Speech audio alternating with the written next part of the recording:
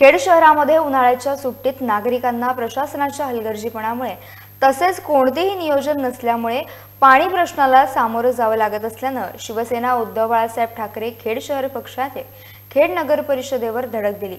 खेड शहरामध्ये पाणी पुरवठा करण्यात आलेला नाही तसेच काही तांत्रिक बिघाड असल्यास तसे नागरिकांना सूचित करून टँकरद्वारे पाणी पुरवठा करणे गरजेचे होते. मात्र कोणतेही नियोजन नसते तसे झाले नाही. तसेच जर नागरिकांना त्रास सहन करावे लागत असेल आणि पाणी पुरवठ्याबाबत योग्य नियोजन केले जाणार नसेल तर खेड शहर शिवसेना उद्धव बाळासाहेब ठाकरे पक्षाच्या वतीने तीव्र आंदोलन करण्यात येईल असा इशारा खेड शहर प्रमुख दर्शन महाजन यांच्या नेतृत्वाखाली देण्यात आला आहे. यावेळी महिला आघाडी शहर संघटिका माधवी बेरडे आदी पदाधिकारी आणि कार्यकर्ते उपस्थित होते.